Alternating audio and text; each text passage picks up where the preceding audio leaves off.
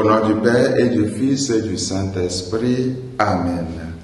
Viens, Esprit de sainteté, viens, Esprit de lumière, viens, Esprit de feu, viens nous embraser. De l'évangile de Jésus-Christ selon Saint Matthieu.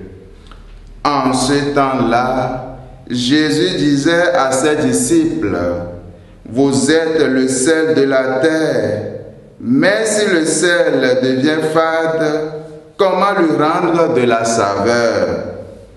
Il ne vaut plus rien. On le jette dehors il est piétiné par les gens. Vous êtes la lumière du monde. Une ville située sur une montagne ne peut être cachée. Et l'on n'allume pas une lampe pour la mettre sous le boisseau. On la met sur le lampadaire et elle brille pour tous ceux qui sont dans la maison. De même que votre lumière brille devant les hommes, alors, voyant ce que vous faites de bien, ils rendront gloire à votre Père qui est aux cieux.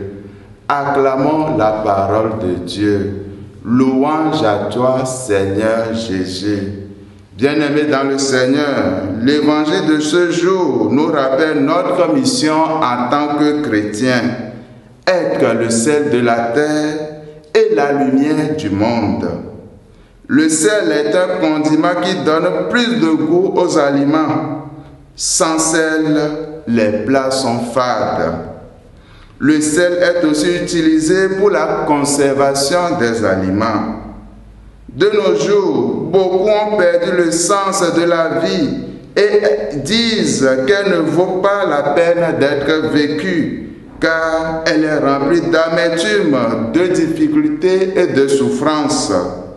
C'est précisément dans cette réalité que le chrétien doit donner du goût par sa joie et par son optimisme serein de se savoir fils de Dieu, que tout dans cette vie est chemin de sainteté, que les difficultés, les souffrances nous aident à nous purifier et qu'à la fin, une vie de gloire et de joie éternelle nous attend.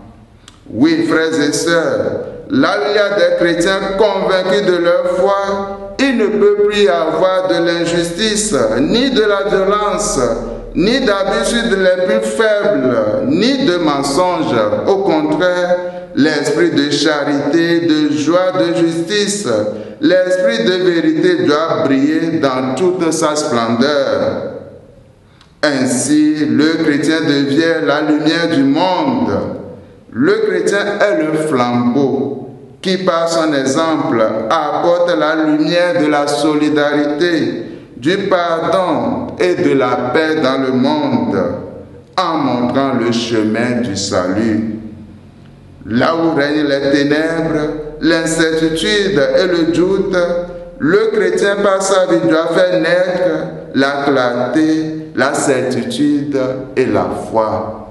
Que le Seigneur nous bénisse et qu'il bénisse sa parole dans nos cœurs. Au nom du Père et du Fils et du Saint-Esprit. Amen.